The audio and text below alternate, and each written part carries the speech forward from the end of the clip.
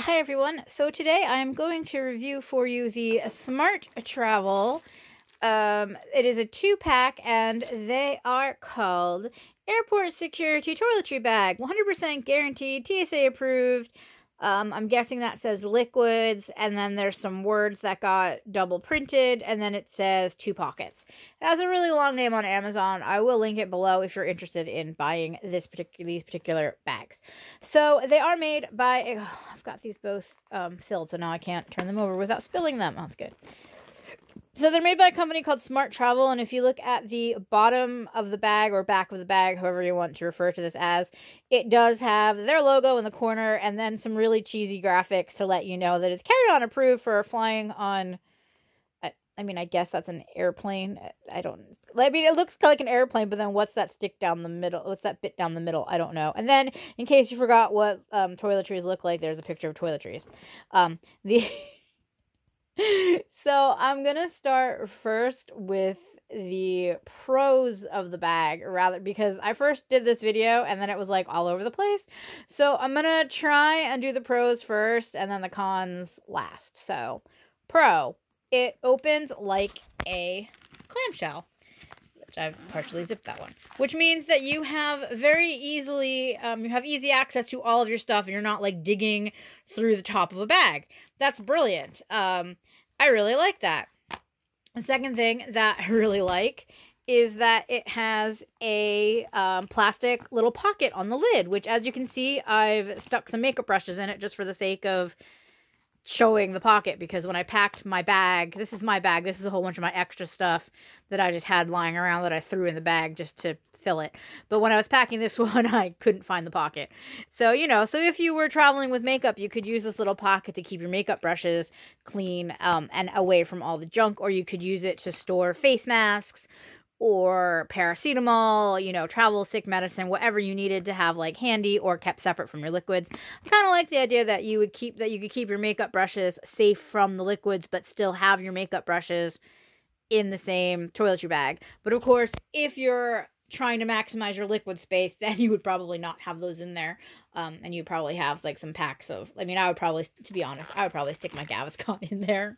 I'd be like, look, my Gaviscon's in there. Cause yeah, cause I need Gaviscon a lot. Um, so, so that is one pro, that is a second pro of the bag. And those are pretty much the only pros. So on to the con. So the first con that I noticed about this writing is that it's on the inside of the bag.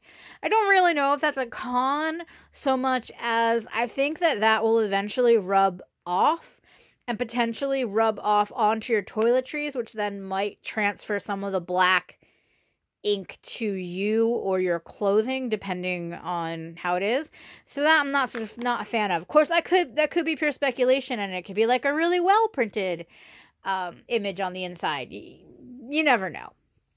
The uh, second thing that I did not do not like, or that is a con, I suppose, is here's my old bag, and when I sit my old bag on top and I line up the piping, there. I don't think you care about that. That's my packing list. There is about an inch of extra space in this bag that this bag does not have because it is the same height, it's the same depth, but the width is about an inch shorter. And this bag, I know this bag has been through, well, I mean, it's been through security with me. It's been through security in Leipzig, Dresden, Prague, um, Munich, um, thinking, thinking, thinking, obviously Stansted and Heathrow, uh, Philly, Orlando, it's been through the Eurostar security, although the Eurostar doesn't restrict liquids, so that didn't matter. It's been through security getting on an overnight ferry. Again, they don't restrict your liquids, so that didn't matter. But it's been through a lot of security screening, and I'm replacing it because it has, I think on the other side, it has these little um, slits in it, which I think may have come from my razor. Uh, but basically, when you have holes in your liquid bag, it's time to replace it because you don't want your liquids leaking, if they leaked in your liquid bag and the bag wasn't, you know, had a hole in it, then it would leak in your bag. Um, I could probably repair it with tape, but then I wasn't really sure if the tape would be watertight. Um, so it's not taped. It, so so I've got new bags, and these were fairly cheap. I believe they're like seven ninety nine, eight ninety nine for two of them. And Tim needed a new one as well because his has a crack in it. Also, and his has a really his has a crack that would be harder to fix with tape because it's his is on the side, like um on underneath where the zipper is, like that bit cracked, so it would be difficult to fix. So I just figured, you know what, these were either eight or nine pounds for the two of them. Um, it was cheaper than buying us each singles like that one from Superdrug because I think those were like five pounds each, something like that. So I bought these. So we'll see how they go, how they go. Um, is what I'm gonna say without that extra inch of space. Um, if we were going on a longer trip, um, because usually when we go away, we only go away for like a long weekend or maybe a week. So having that extra inch doesn't really matter. But if we were going on like a two week trip and you were really trying to cram a whole lot of your liquids in, like if we were taking sunscreen an extra you know extra sunscreen and if i wasn't using bar shampoo and conditioner and i was traveling with shampoo and conditioners and if i was taking like other hair accessory um not accessories other hair products and things like that then i might want that extra inch um, also, if I was going away to a convention, I would probably want that extra inch because I also might be taking extra makeup with me. But when we just go away for a quick weekend, I'm not usually taking that much makeup. Like the amount of makeup that I'm taking on our next trip is probably like this palette that has two eyeshadows and a blush. I mean, I don't wear a lot of makeup when we travel. And also because a lot of the time if we're going to Germany, then we're just like running around riding trains, riding trams, riding boats and just I don't need to, you know, I just feel like I don't need the makeup. Um, whereas if I was like going down to London and I was spending the weekend in London, I probably would wear makeup. So you know what I mean. It, it varies. But anyway, so that would be something to consider is that this is not maximizing your absolute um, amount of liquid space. Um, the other negative that I kind of thought of is it takes up extra counter space because you can't stand it up. I mean, you could zip it shut and then stand it up, but to open it, you would definitely need the counter space. So if you were somewhere where counter space was going to be limited, which you don't really know of right away, I suppose, which is kind of a bad thing. But if you look at the pictures, you can usually tell. But like if you were staying in, say, like a hostel that might not have counter space in the bathroom or if you were going to be on a cruise ship which doesn't have a lot of space in the bathroom things like that then this might not be a good option because you would have to constantly zip it back shut to stand it up and then find a place to to balance it and you'd wind up like putting it on the back of the toilet and have everything fall in the toilet you know. Um, i did test it with a 100 ml bottle uh, that is what this is over here. This one is 100 ml and it fits as you can see but it slightly pushes out that top part but it does still zip shut, so I can't imagine anyone complaining about that. So it does fit. It doesn't fit in the corner. Um, and actually, that's one thing that I noticed when I was trying to fill the second bag is it's actually kind of hard to like get something to fill up that corner.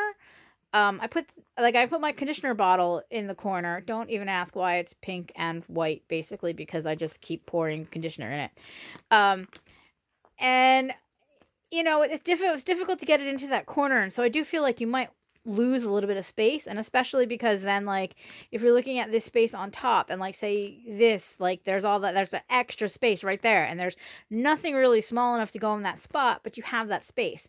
Whereas when I was filling up this bag, um, the way that I would do it is I would always put things in, and I would start at the zipper pull end and put things in the bag, and then I would turn the bag this way shuffle it down, zip the bag up a little, like zip the bag up to the top here, go like this to shuffle everything down to the bottom, and then I would continue to fill it, and I would make sure I filled every single corner of the bag to, again, maximize my space.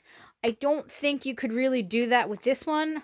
Um, I mean, I guess you kind of could if you, like, zipped it up on three sides and then turned it this way to shake it down. Um, but again, it's not quite as easy to do as it is in the other one. So, um, so yeah, so those are a couple of things that you should probably consider if you are in the market for a new travel toiletry bag.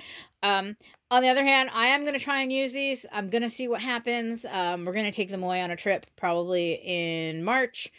um, and see how we like them. And if we don't like them, then we'll just have to go to Superdrug and buy the bags that we previously had.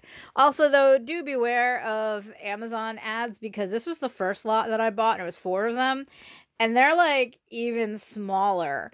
Um, so again, if you're trying to maximize your amount of liquids, d- definitely read the fine print, read the dimensions. Um, anyway, so Hope that helped. I will link these in the description box below if you're interested in them. And uh, yeah, have a good trip.